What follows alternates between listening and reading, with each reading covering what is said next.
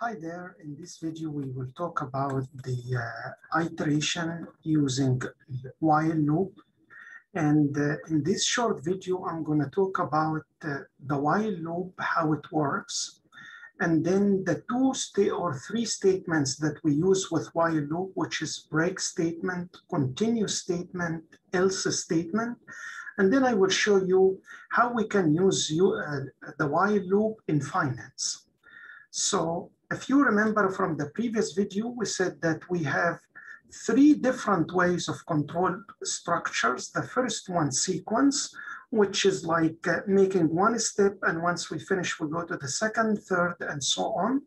But in the selection uh, instruction, we come into a decision where we can take one of the two ways. Either we go yes or no, true or false, one or two. And based on that, we jump to the next step. In this video, I'm going to talk about iteration, which is a loop that we will keep going through this loop as many times as we can to fulfill the condition. And this is what we call it while loop. While loop, it's a loop that execute a set of statements or instructions as long as the conditions are true.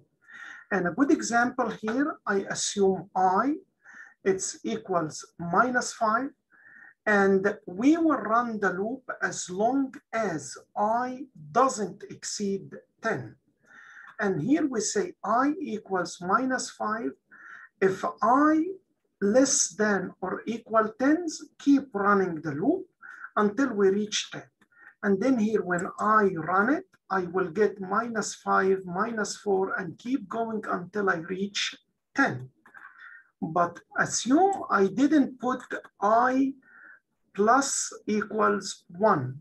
Here we will have the code run forever. So this is the reason we have to add up I plus equals one to stop running the code at the end, which is 10. So remember here, if we don't increase i by one, at the end, the loop will continue to run forever because there is no limit for the loop here.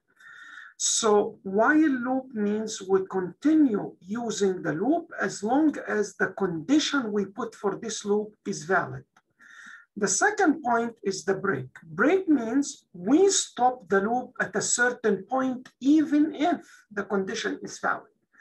And here I use the second example, which is i equals minus five, while i is less than or equal 10, keep running the loop until i equals seven.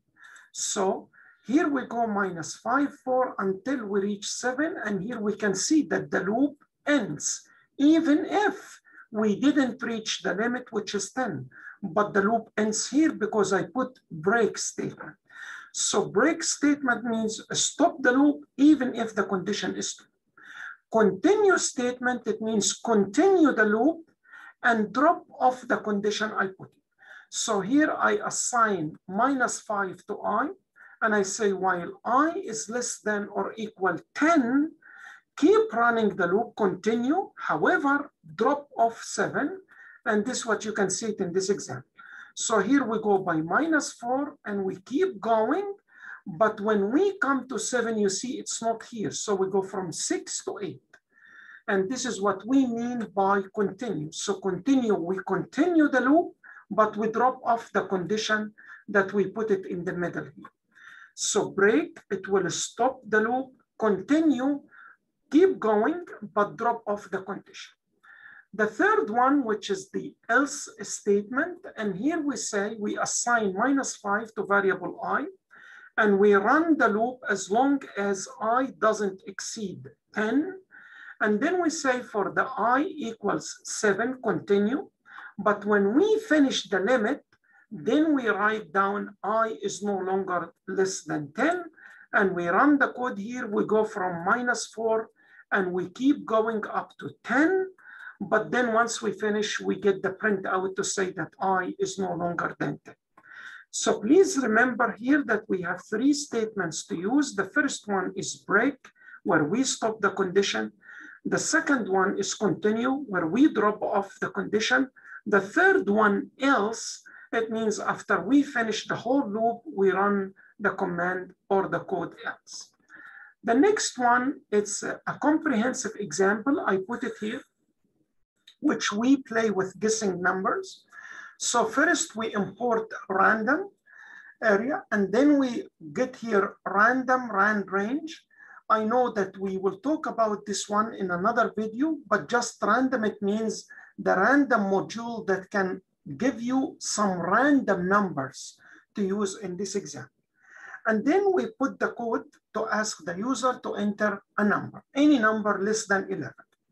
And then we get here the total trial, number of trial, and then we start running our while loop if the guess number is not equal to the random number that has been generated by the computer, then if the guess number is higher, we write decrease the number. If it's lower, we write increase the number. And then we see how many times the user will get to get the right or guess the right number.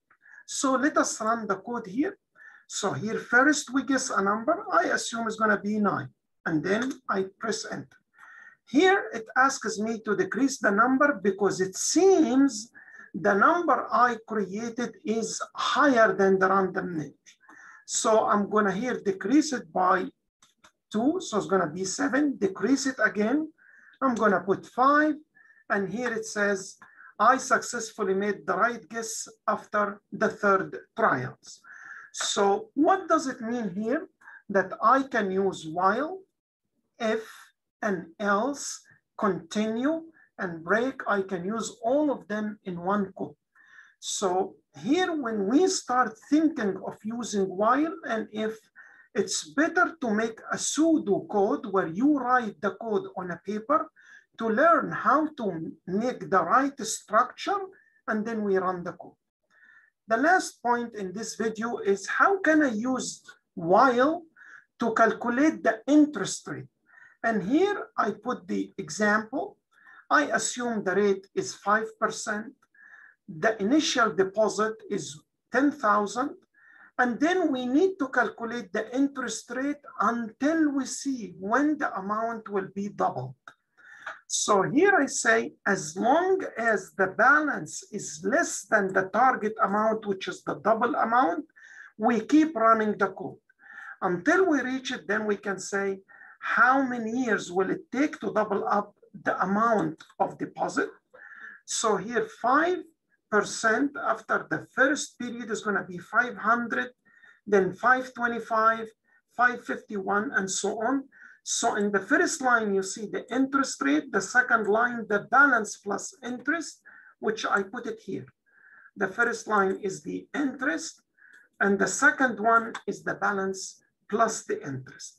And if I go down here, it will tell me that it will take 15 years to double up the amount. So this can show you that we can use while in a typical finance example. So this is in brief the short video of using while loop with continue, break, else, and if. I hope you find this video useful. Thank you. Bye-bye.